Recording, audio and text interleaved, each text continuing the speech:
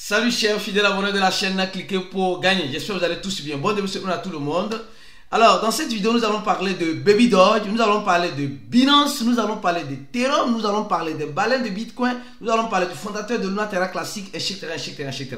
Alors, si tu n'es pas encore un fidèle abonné, mon frère ma soeur, tu rates beaucoup de choses. Car ces chaînes nous venons t'apporter l'information en temps réel de tout ce qui se passe dans l'écosystème de la crypto-monnaie. Alors, n'oublie pas une chose, active toutes les notifications. Beaucoup de personnes s'abonnent et oublient d'activer toutes les notifications pour ne rater aucune de nos prochaines vidéos. Car YouTube ne distribue pas fréquemment toutes les vidéos que nous mettons en ligne ici. Alors, comme vous le savez, nous allons voir rapidement le prix. Il y a tellement de nouvelles, franchement. Tellement de nouvelles bonnes, très bonnes, que nous allons analyser pour vous ici. Alors donc, nous sommes en train de voir le Bitcoin dans la case de 26 400 dollars. Et comme vous le savez très bien, le Bitcoin, ce n'est pas l'ami de qui que ce soit. Le Bitcoin fait ce qu'elle veut, où elle veut, comme elle, comme elle veut. Donc, si vous voulez investir, vous voulez prendre le risque d'investir dans l'écosystème de la crypto-monnaie, d'abord, investissez dans le Bitcoin. Il n'est jamais trop tard parce que même ce reste, je dis, ce n'est pas un conseil d'investissement, mais si vous voulez prendre le risque, Serait-ce 10 dollars, 20 dollars, le Bitcoin a fait ses preuves et continue de faire ses preuves. Et il n'est jamais trop tard à qui, que, à qui que ce soit de mettre encore peut-être quelques petits miettes hein, selon ses disponibilités dans le Bitcoin. Sinon, vous allez dire, ah, j'avais vu le Bitcoin à 26 400 dollars. Je pouvais au moins prendre 100 dollars ou je pouvais au moins prendre 50 dollars de Bitcoin. Voilà aujourd'hui là où le Bitcoin est arrivé si je savais. Alors donc, on avance rapidement. Alors donc, aujourd'hui, comme vous le savez, nous avons partagé sur nos réseaux sociaux hein, l'airdrop de distribution de plus de 150 dollars aux membres de la communauté grâce à l'échangeur CoinX. Il suffit seulement de faire quoi?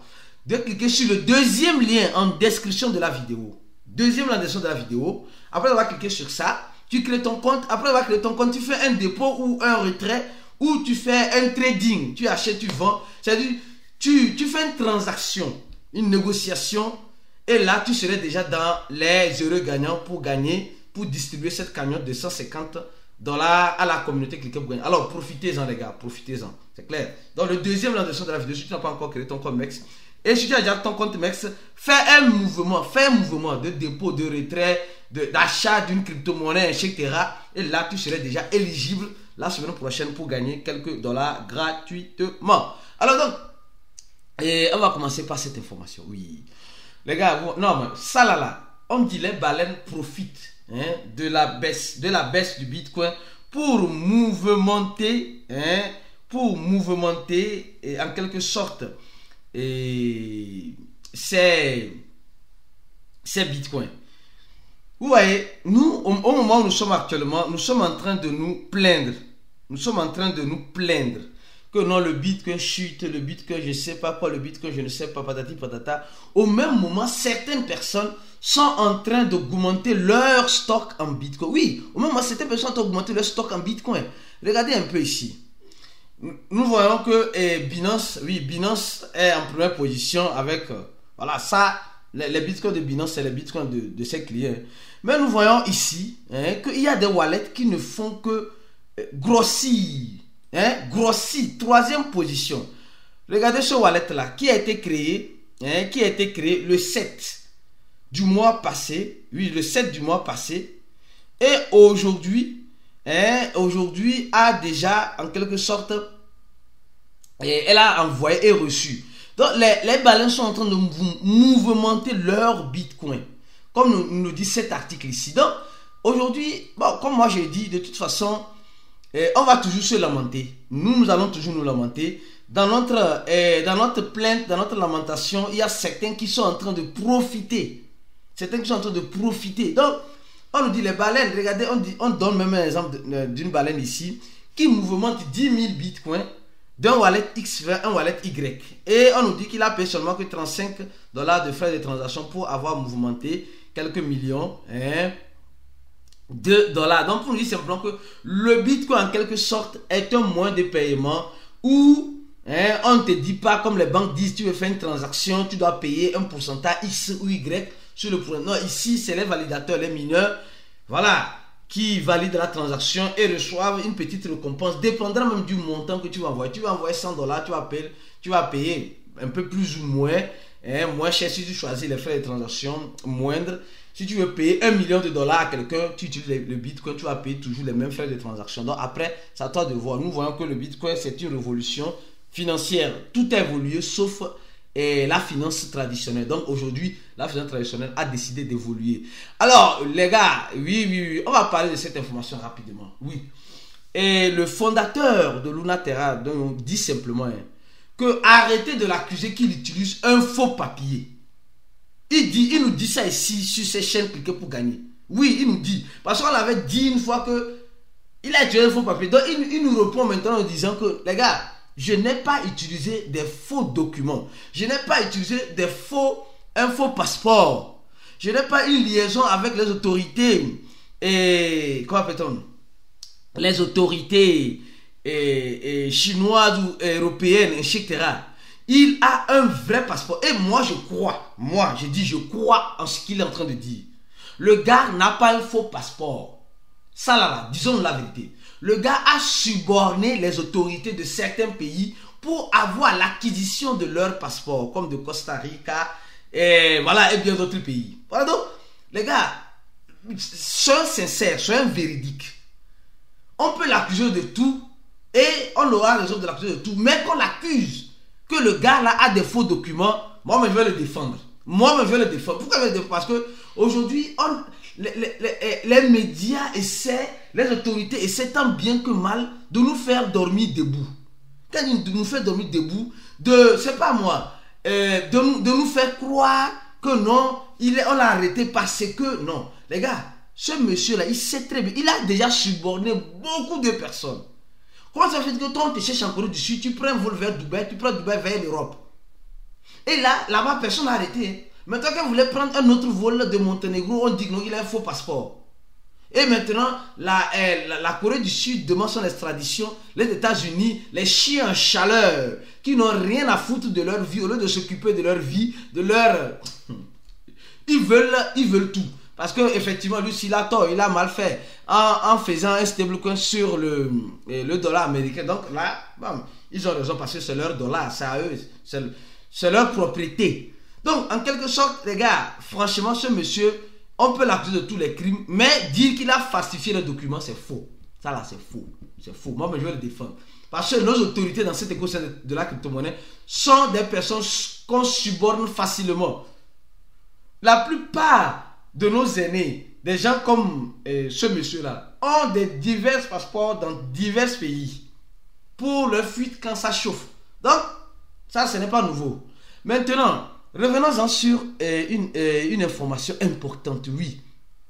Le CEO de Binance.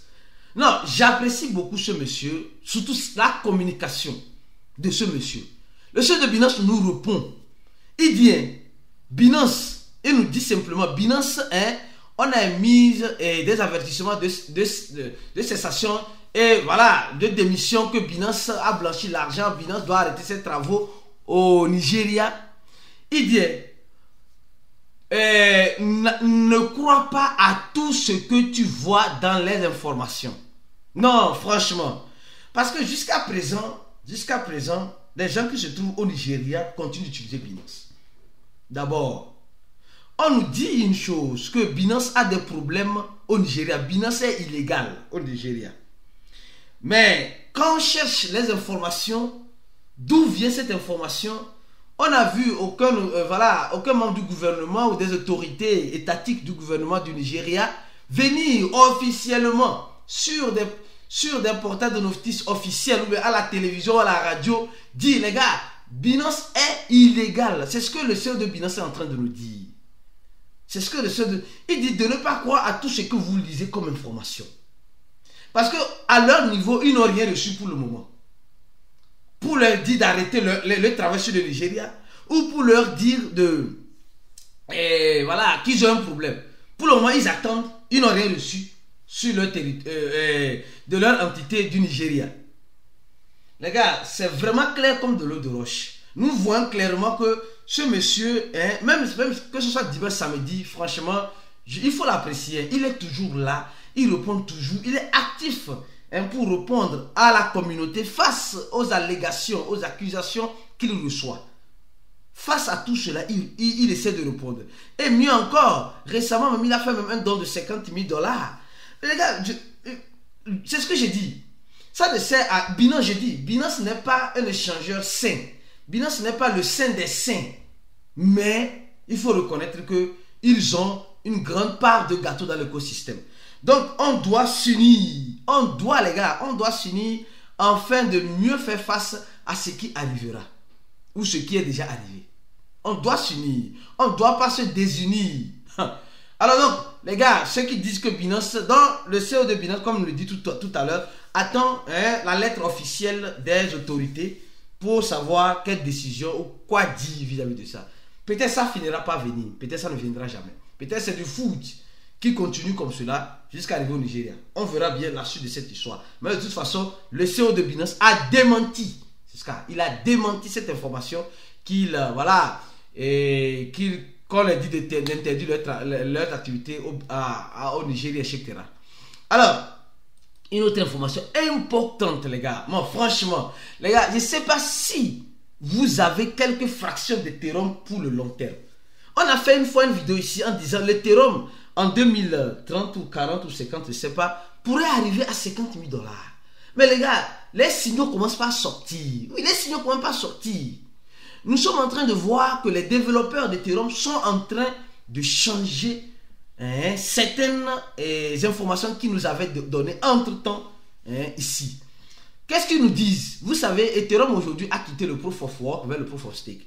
En soi-disant et voulant euh, être écologique. Mais c'est vendu. Ceux qui ont compris ont compris.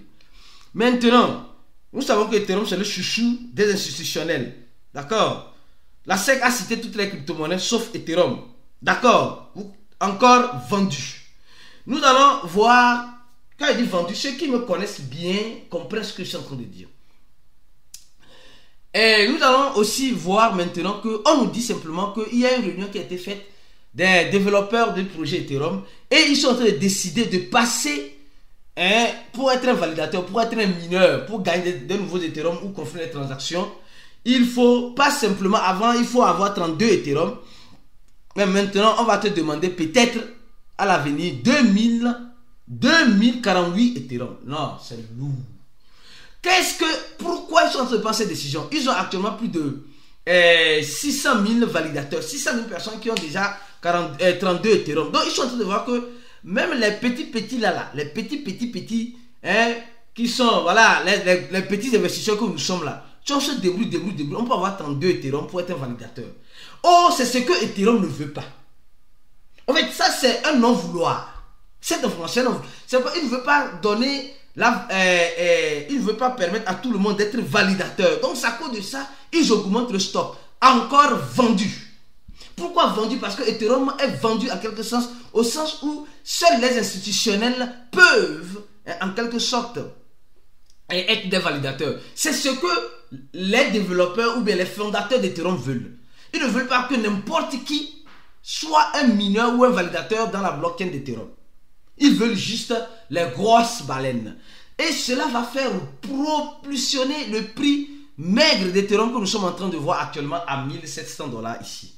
Les gars, réfléchissez. Ceux qui se retrouvent dans notre groupe VIP, ceux qui ont cliqué sur le premier lien en dessin de la vidéo et ont rempli ce lien et ont payé 80 dollars, se retrouvent dans un groupe, un groupe d'investisseurs fermés de cliquer pour gagner. Rappelez-vous du chat voice de la dernière fois. On a dit quoi, les gars? Il y a certains projets qui vont nous surprendre. Il y a certains projets qui vont nous surprendre. Nous sommes là pour la spéculation. Mais avant de spéculer, il faut préparer ton mindset. Il faut savoir analyser. Et c'est ce que nous offrons aux gens qui cliqueront sur le premier lien en description de cette vidéo qui se, qui se décideront de prendre leur destin en main de se former. Alors donc, donc si tu n'as pas, encore si pas encore fait cela, va le faire rapidement. On t'attend et tu reçois un email, tu paieras 80 dollars. Pour le moment, c'est 80 dollars. Quand ça va arriver à 100, quand le coût va passer à 100 dollars, c'est là-bas maintenant vous allez voir les gens courir pour venir. Non, je voulais, je pouvais. Là, c'est parti à 100 dollars, il n'y a rien à faire. De toute façon, ça va partir à 100 dollars très bientôt. Alors, et maintenant, parlons de Baby Doge. Les gars, Baby Doge nous fait un petit rappel. Oui, Un petit rappel, mais depuis un temps, nous sommes en train de voir que Baby Doge est en train de faire certaines choses qui sont un peu bizarres. Mais nous allons analyser tout à l'heure dans cette vidéo. Les gars, regardons très bien, regardons très bien. On nous dit que Baby Dodge Swap est déjà en ligne. Mais c'est pourquoi je vous demande, d'abord, donnez un j'aime à cette vidéo. Parce que plus vous donnez un j'aime, plus la vidéo serait propulsionnée pour que l'équipe de Baby Dodge puisse voir cette vidéo. Pourquoi l'équipe de Dodge doit voir cette vidéo? Parce que j'ai des choses à les dire. La plupart de la communauté africaine n'arrive pas à utiliser le swapper babydodge.com. Sauf il doit passer par un VPN. Libérez ça, les gars. Les gars du Baby libérez, libérez le, le Baby Swap à tout le monde. Ne mettez pas des restrictions. Plus vous mettez des restrictions, plus vous allez, vous allez limiter l'utilisation de ce swapper qui était tant entendu. Ça, c'est. Mon frère, ma soeur, donne j'aime la vidéo, s'il te plaît et partagez cette vidéo dans le groupe Baby Doll pour que les responsables de Baby Doll puissent voir que effectivement la plupart des Africains n'arrivent pas à utiliser le swapper Baby Doll, du moins pour le moment. Et Baby Doll nous rappelle une chose, ils disent tu peux créer et, comment comment appelle-t-on? Tu peux créer ta, une piscine de euh, une, euh, des pôles, tu peux aussi bloquer les tokens, tu peux créer, tu peux checker des NFT tu peux acheter Baby Dodge avec, ou bien tu peux utiliser la carte virtuelle de Baby Dodge. L'équipe de Baby Dodge continue de faire des burns. L'équipe de Baby Dodge achète, hein, et l'équipe, etc. Les gars, il faut reconnaître une chose. Non. Que ce soit Baby Dodge, hein, en matière de comparaison avec Pépé, Baby Dodge n'a pas se comparer avec Pépé. Baby Dodge, aujourd'hui, hein, fait comme un peu Shiba. Hein, elle, essaie d'innover maintenant.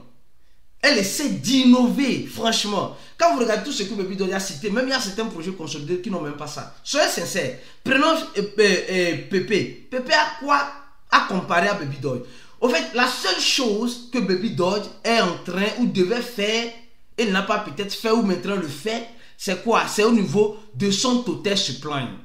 Au niveau du total supply de Baby Doll, c'est énorme. Et c'est plus centralisé sur l'équipe de Baby Dodge. C'est tout le problème. En fait, c'est tout le problème de Baby Dodge.